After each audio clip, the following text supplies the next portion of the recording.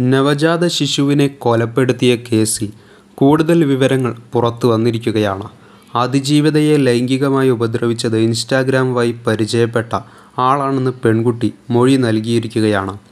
ഇവരുടെ പരാതി പ്രകാരം ബലാത്സംഗത്തിന് കൂടി കേസെടുക്കാനാണ് പോലീസിന് ലഭിച്ച നിയമോപദേശം.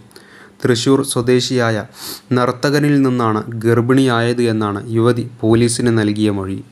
ഇന്ന് പുലർച്ചെ അഞ്ച് മണിയോടെയാണ് പെൺകുട്ടി ഫ്ലാറ്റിലെ ശുചിമുറിയിൽ പ്രസവിക്കുന്നത്. പിന്നാലെ കുഞ്ഞിനെ ബെഡ്ഷീറ്റ് കൊണ്ട് കഴുത്തിൽ മുറുക്കി കൊലപ്പെടുത്തി ബാൽക്കണിയിൽ നിന്നും അടുത്തുള്ള പറമ്പിലേക്ക് എറിയുകയായിരുന്നു. എന്നാൽ ഉന്നം തെറ്റി കുഞ്ഞിന്റെ മൃതദേഹം റോഡിൽ വീണു. നിലവിൽ പെൺകുട്ടി പോലീസ് കസ്റ്റഡിയിലാണ്. പെൺകുട്ടിക്ക് വൈദ്യസഹായം നൽകേണ്ടതുണ്ട്. ആമസോൺ ഡെലിവറി കവറിൽ പൊതിഞ്ഞാണ് ഫ്ലാറ്റിന്റെ മുകളിൽ നിന്ന് നവജാത ശിശുവിനെ എറിഞ്ഞ് കൊലപ്പെടുത്തിയത്. ഈ കവറിലെ വിലാസം കേന്ദ്രീകരിച്ചുള്ള അന്വേഷണമാണ് പോലീസിനെ കൊലപാതകികളിലേക്ക് നയിച്ചത്. പതിനഞ്ച് വർഷമായി കുടുംബം അവിടെ താമസിച്ചിരുന്നുവെങ്കിലും ഇവരുടെ ഇരുപത്തിമൂന്ന് വയസ്സുള്ള മകൾ ഗർഭിണിയാണെന്ന കാര്യം ആർക്കും അറിയില്ലായിരുന്നു. രാവിലെ എട്ട് മണിയോടെയാണ് കൊച്ചി പനമ്പിള്ളിയിലെ വിദ്യാനഗറിലെ ഫ്ലാറ്റിനു മുന്നിൽ നിന്നും നവജാത ശിശുവിന്റെ മൃതദേഹം കണ്ടെത്തിയത്. കൊറിയർ കവറിൽ പൊതിഞ്ഞ നിലയിലായിരുന്നു മൃതദേഹം. നടുറോഡിൽ ദിവസങ്ങൾ മാത്രം പ്രായമുള്ള ആൺകുഞ്ഞിന്റെ മൃതദേഹം കണ്ടെത്തിയ നാട്ടുകാർ വിവരം പോലീസിനെ അറിയിക്കുകയായിരുന്നു. ഫ്ളാറ്റിൽ നിന്നും കുഞ്ഞിനെ താഴേക്ക് എറിയുന്നതിന്റെ സി സി ടി വി ദൃശ്യങ്ങളും പോലീസിന് ലഭിച്ചിട്ടുണ്ട്. ആശാവർക്കർമാരുടെ പട്ടികയിൽ ഫ്ളാറ്റിൽ ഗർഭിണികൾ ഇല്ലായിരുന്നു.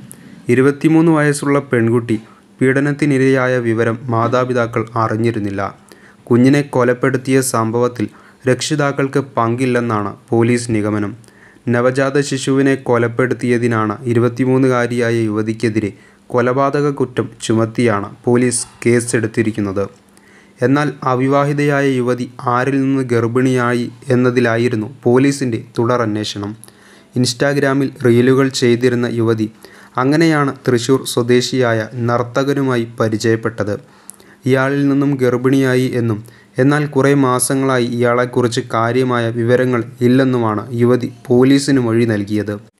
ഇതിനാലാണ് ബലാത്സംഗത്തിന് കേസെടുക്കാൻ പോലീസിന് നിയമോപദേശം ലഭിച്ചത്. വർഷങ്ങളായി ഫ്ളാറ്റിൽ താമസിക്കുന്ന യുവതിയും മാതാപിതാക്കളെയും പുറത്ത് കണ്ടിരുന്നെന്നും അസ്വാഭാവികമായി ഒന്നും തോന്നിയില്ലെന്നുമാണ് മറ്റ് താമസക്കാരും ഫ്ളാറ്റ് ജീവനക്കാരും പറയുന്നത്.